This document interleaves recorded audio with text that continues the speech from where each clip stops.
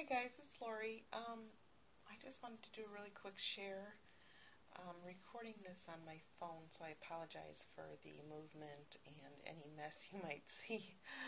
Um, I made this bouquet uh, out of pinwheels, um, and the inspiration came from um, Muriel, who is Miss Cooper's Coop here on YouTube, and um, I'm not sure uh, where she she saw it on another video. I can't remember, but I'll try to link her video down below. I'm sure everybody knows who she is. Um, she's a wonderful crafter. She's very talented.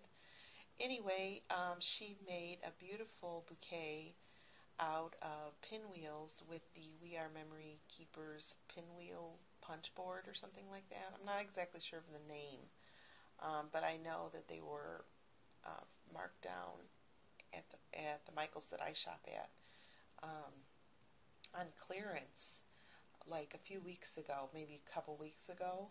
I'm not sure if they are still available or not, but um, anyway, I saw her her bouquet and her pinwheels. The pinwheels that she made with that uh, particular tool um, came out different than the ones I made because I made mine on my Cricut. Um, and they're more like a traditional pinwheel and they don't, they don't spin.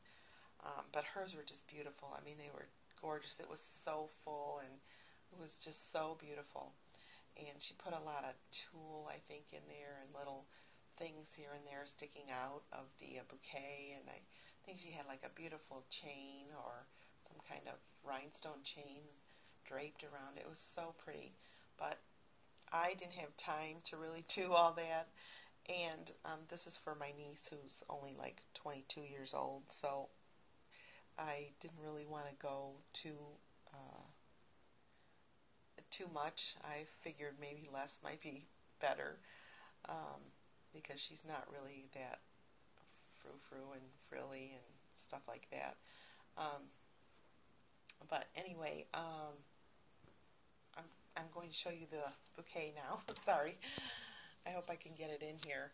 Um, so here is the bouquet and I wrapped the bottom with some material that I had and then um, on after I did that, first I taped them so they would stay together and then I wrapped some white material to hold it and I squeezed them, you know, tighter so they would be, you know, stay together because they were kind of like sticking out in different directions, the straws, because I attached them to straws. And then after I did the material, I wrapped this pretty um, lace, lace that's kind of glittery. Um, and then I had to add a little different color at the bottom, but it's just for her bachelorette party, so I'm not really too you know, worried that she's, you know, I don't think if something happens to it, it's not really a big deal because it's just made out of paper and straws. So, and then at the bottom, Muriel put a beautiful dangle on hers, and I tried to, to replicate what she did, but I, mine surely is not like hers at all. I just kind of tucked it in there and glued it know, first I opened the ring that was on this and I had kind of attached it to the material and then I tucked it all in there and just glued it with hot glue. Sorry my camera's not focusing there. And then I attached this little Eiffel Tower on there. And then, so this is supposed to be the front, and then I glued little, um, I don't know what you call those things, little gems I think they're buttons actually sew onto like material and things like that. But um, I just glued. This one's a heart, and that one's a rose.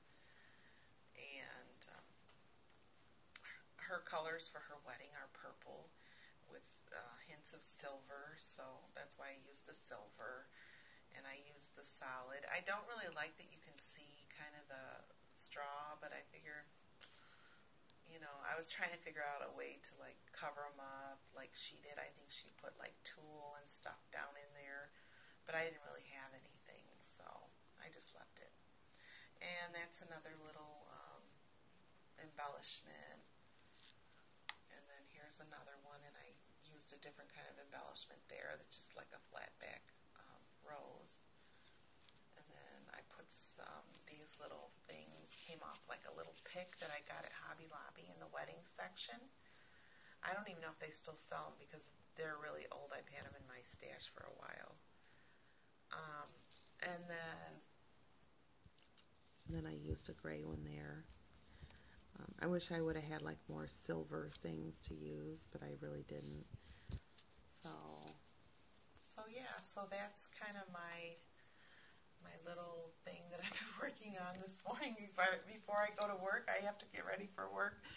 So I just wanted to show um, this and give a big shout out to Muriel who um, inspires us every day with her projects that she shares and um, this I you know as soon as I saw hers I knew I wanted to make one for my niece and I think that she'll get a kick out of it you know and even if she doesn't keep it forever you know it's it'll be something for her to just to you know hang you know have while she, while she's at her party and stuff so.